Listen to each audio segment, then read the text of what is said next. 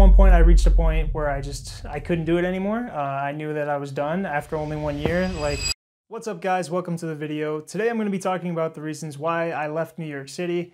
I originally wasn't gonna make this video. I was just gonna talk about it in another video that I have planned, but I have enough reasons and enough stuff I wanna talk about related to why I left New York City that I figured this could be its own video. I want to tell you a little bit about my story, about why I moved to New York City, what my goals were when I was living there, and what I wanted to get out of living in New York City. So I moved to New York City in February of 2022, and this was after like probably like six to eight months of looking for a job. I graduated from college in 2019 and I immediately went to Spain for a couple of years to teach English. During the end of my time in Spain, I was looking for a new job, something related to what I studied in my undergrad.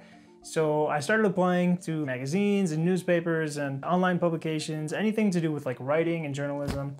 And for a few months I was doing that. And at that same time I had started making videos on YouTube. So I knew that I really liked making videos and I especially really liked video editing. After I got rejected more and more and more, I started to lean more into the video side of things because I realized that's what I really like to do and I figured there was more opportunity in that. So I got back to the United States in like July 2021 and for a good six months, I was just applying to jobs every day, applying to at least three jobs all over the country. And it wasn't until about maybe like November, December of that year that I decided that New York City was my best option. There's so many media companies that are based in New York City. I knew that that was where I wanted to be. And it was also because of like everything I had heard about New York City. I knew it was a city that I could walk around in without needing a car because I sold my car when I went to Spain. I knew I could just take the trains to get around and I had always dreamed of living in New York City. Ever since I was a kid, I just I felt like I saw it on TV all the time and it just seemed so cool, such a cool lifestyle and something that I wanted to experience at least once in my life. And I had thought about other cities before. I thought about LA, Atlanta, Chicago. Those also have really good media industries and a lot of companies there. But I ultimately decided New York City was the best option just because I had always wanted to live there and I talked to some people who convinced me that that was a good place to be for media, so people who went to my school. So I started applying to jobs in New York City. Um, I applied to many, many different types of jobs, but uh, mostly focusing on video editing. But then I had like a light bulb moment and I realized that what I needed to focus on was applying to production assistant jobs. Once I nailed that down, once I went from writing to video all over the United States to New York City, like I drilled in and I had a focus, that's when I got some results. I got a job with Fox News. Now, I wasn't a big fan of Fox News, like I didn't really watch 24 hour news. In my undergrad, I avoided like radio and TV studies and I just wanted to focus on writing because I thought that that's what I would end up doing. But uh, it didn't turn out that way. And so, yeah, I had my interview and I got offered the job and the pay was 1875 an hour, which is like ridiculous. Like you definitely cannot live off that in New York City. But I had saved some money uh, during my time living at home with my parents before I moved to New York City. I was working in a local gym during the daytime as just like a sales representative or like gym manager. And on the weekends, I was working as a waiter at a local restaurant, made pretty good money. So I had enough savings that I could manage the move to New York City. In February of 2022, I moved to New York City from Cleveland just with a suitcase. I had found an apartment online and I went to the city one time beforehand to check it out, make sure it was, you know, good enough and what I expected. So yeah, then I started my my journey in New York City. So as I mentioned earlier, I had already started my YouTube channel at that time. What I had planned for living in New York City was to do both. I thought I would be able to have a successful career in journalism and work my way up and figure that side of the industry out. And at the same time, be able to make content consistently about New York City and make videos. Yeah, so the year of 2022, I think I made only like seven videos on this channel. And that was just because I was working so much. I ended up working in 24 hour news, so I was literally working around the clock. Worked the overnight shift, worked early, early mornings, and also late nights. So I was exhausted. I wasn't only working around the clock, but I was also picking up a lot of overtime because I needed the extra money. So I was pretty much working like 50 to 60 hours a week at Fox. And on top of that, I was trying to make videos as well. I was filming and editing and I did a couple freelance jobs. So basically I was just working all the time. And like my health really took a toll during that time. Um, I gained weight. I got my first gray hairs. My hairline got a lot worse. It just put a lot of stress on my uh, on my body during that time. I was probably sleeping around like four or five hours a night. I was dating Sophie as well, and we were going out on dates. So I was trying to balance all these things: having a girlfriend, having a full-time job, working overtime, trying to make content for this channel and I burnt out really quickly that way. At one point, I reached a point where I just I couldn't do it anymore. Uh, I knew that I was done after only one year. Like I just really burnt out at Fox, and I, it's something I wasn't super passionate about. I worked during the midterm elections, so it was a lot of coverage that you know I just like didn't really care about. I, I feel like news shouldn't be biased um, and there was a lot of bias there. So once I realized I had enough of Fox News and it was time for a change, I started looking around and I applied to a fellowship at Business Insider. And it's just a glorified internship, but it was 40 hours a week, uh, nine to five, which was like a huge relief coming from working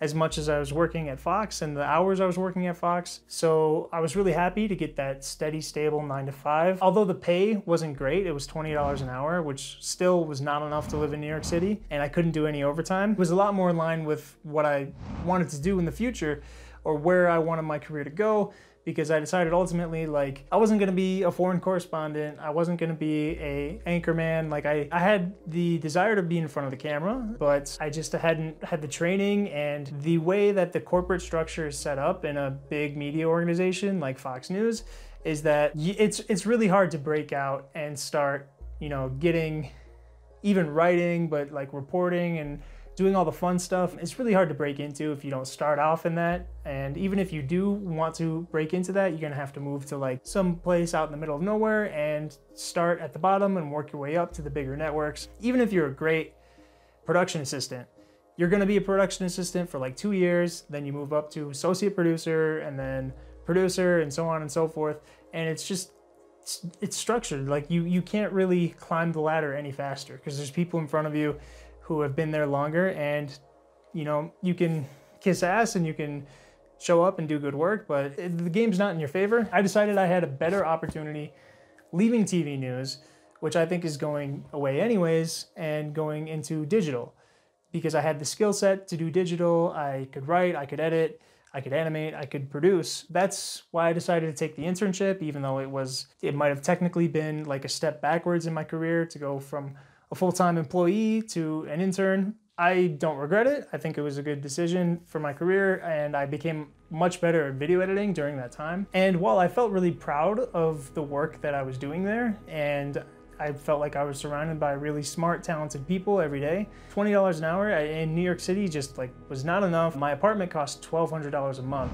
So if you do the math, I was spending 50% of my income on rent, just rent every month. You know, I wasn't the best with my expenses. I was in a long distance relationship, so I spent a lot of money flying to and from Mexico to visit my girlfriend. So during my time working at Insider, I was just eating through my savings, not making enough to get by. That added a lot of stress, even though I wasn't working as much crazy hours uh, and I was able to make some more videos during that time. I was constantly stressed out about money and also because it was an internship and I was hoping to get offered the job at the end of the internship, I was also trying to go above and beyond and produce better and better work and do more. And I ultimately didn't get the job at the end of the internship. Um, so that was a big factor and why I moved out of New York City. And I realized while I was making videos about my life in New York City and trying to manage a career at the same time, that I wasn't doing either one effectively. As much as I wanted to live in New York City and I, I had always dreamed about living there, I just don't think I was as passionate about it as some others are. New York City is not a perfect city. There's a, there's a lot wrong with it, and I think it's just uh, overly romanticized. Because it would be great to live there if you were rich, but me, I was struggling and just the, the hustle work culture consumed me. And like, I hate to be one of those people who gets chewed up and spit out by New York City, but I mean, that was me. And honestly, I was kind of ashamed about that for a while, but I think it's more telling of the state of the city rather than saying anything about me. I mean, I've seen a lot of people who went to New York City and thrived and made great lives for themselves, but I wasn't able to do it. Uh, I mean, I didn't have a bad life. I, you know, I had connections there, but ultimately I, I never really found a sense of community. I didn't have much of a social circle. My social circle was pretty much my roommate and my girlfriend were really the only people in my corner in New York City. That was another big reason why I moved out. The loneliness that you can feel in New York City definitely is real. And I sort of avoided that loneliness by being a workaholic and working too much. But I do think some of my relationships and my health suffered because of that. When I didn't have a job, when my lease came to an end, instead of looking for another job and trying to find an apartment and make it work and find roommates, just decided like I wasn't I wasn't gonna do all that because I was paying 50% of my income a month for an apartment with a leaky ceiling that leaked onto my bed with rats, with roaches, and there's just so much better out there for so much cheaper in other places. And now that we can work remote, if you're in that sort of industry where you are able to work remote, I think Van Neistat said that everybody should live in New York City once in their life. I think every American should live in New York City for one year, like the draft. I feel like I got that from my time in New York City. I worked hard. I uh, struggled, and I also saw a lot of the great parts of New York City. I got to experience some great, amazing things that I never experienced before. And ultimately, like, I don't have anything against the city. I would love to go back and visit again, and if one day I can afford it, I would live there again. But just like scraping to get by, living with roommates, and always feeling insecure, just it's, it's it doesn't feel worth it to me. So I didn't make this video to discourage anyone from moving to New York City. That's not the point of this. I kind of just wanted to talk to the people who maybe are living in New York City and struggling and considering moving out and let them know that like it's okay. It's, it's no big deal. If, if you don't feel like the city is serving you or helping you grow, or if you got what you needed out of New York City, it's okay to move out. You're not a failure. That's how I felt at first, but I realized like now that I'm out of the city that that was a stage in my life that I'm, I'm happy to have lived, but there's so much more out there. There's so much better waiting for me. So I'm glad that I finally moved out of there and I don't have that financial burden as well as the mental and physical burden of living in New York City. Happy to now focus more on my health and take care of myself and not feel the need to always overwork myself and get nothing in return for it. So that was my little rant about New York City, my story of living there. Um, hopefully it made sense and it wasn't too rambly. But yeah, let me know in the comments down below if you lived in New York City, if you live there now, what was your experience like? Thanks so much for watching. I know this is a little bit different from my normal type of video. This is more just like a sit down and talk type of video. I usually do like heavily scripted videos with a lot of editing, but uh, I wanted to do something more chill and laid back. You know, I do really appreciate every one of you who shows up and watches every video. You guys keep me going, so not to be too cheesy, but thank you so much. And yeah, I'll see you in the next one. And until the next one, give travel. That's my catchphrase. I'm sticking to it, even though the name of the channel is not Darviajar. It's my name. We're giving travel. Peace.